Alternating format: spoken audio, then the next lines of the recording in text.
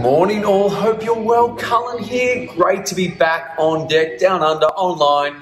Kung hei fat choy, kung si fat sai, happy Lunar New Year. Um, wanted to check in and talk about um, Confucius. Once said, do not be afraid of growing slowly, be afraid of standing still. And um, you've got to get out there, circulate to percolate, and one of those things is building your network.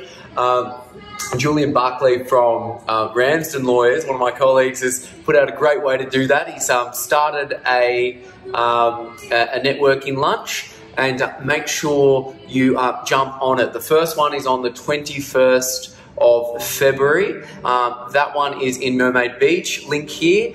Um, 28th is in uh, Newcastle, and uh, I believe it is the 9th of March um, that one is going to be in Melbourne. So make sure you get on it. Um, take the online offline and uh, meet some new people in uh, BD. All the best.